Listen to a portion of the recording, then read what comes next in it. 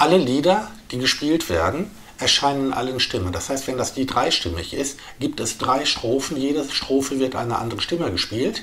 Die Noten kannst du dir hochladen. Da, da gibt es den Link dazu auf der Seite Abbild, Moment, Grundausbildung, Noten, Start. Auf dieser Datei findest du das Verzeichnis aller Lieder und wenn dahinter das Wort Video steht, dann gibt es ein Mitspielvideo, wo du dann die Noten zu spielen kannst.